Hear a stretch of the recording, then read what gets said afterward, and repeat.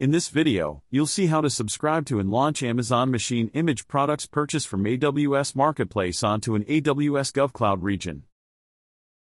First, we will subscribe to a GovCloud enabled product on AWS Marketplace using a standard AWS account.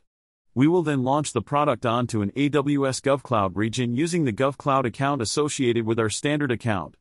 Let's begin. From the standard AWS account, access the AWS Marketplace console and select Discover Products. Find an Amazon Machine Image product available in your desired AWS GovCloud region by using the delivery type and region filters.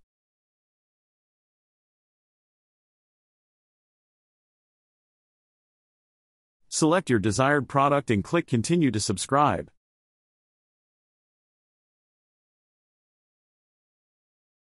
If you've been given a private offer, you can select it here. Accept the product terms to start your subscription.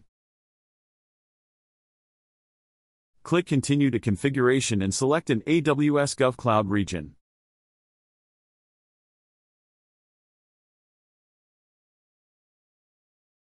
Click Continue to launch and press the Launch button.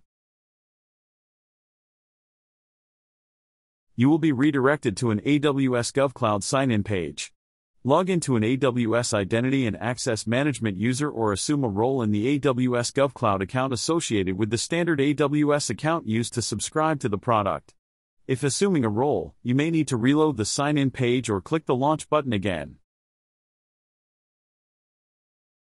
Once you've authenticated, you'll be redirected to the EC2 launch experience for the selected AWS GovCloud region. Configure the instance as desired and select Launch.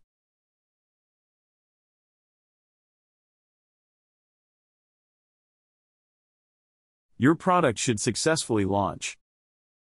In some cases, your organization's administrator may not provide access to the standard AWS account associated with your AWS GovCloud account.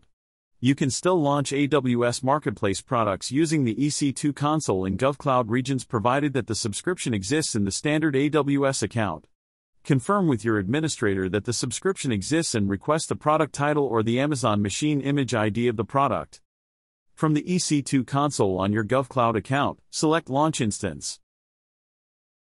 Click on the Marketplace tab and search for your product.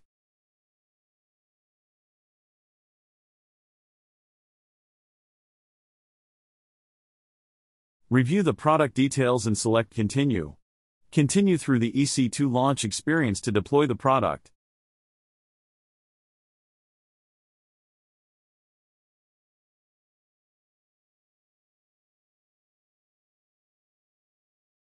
You've just seen how to launch AWS Marketplace products onto AWS GovCloud regions. You can learn more about this topic in the description of this video.